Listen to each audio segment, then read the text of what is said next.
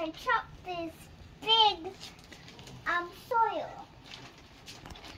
Oh, it stinks. Yeah, I know. Soil is dirt, so it's. Daddy's putting sticky soil.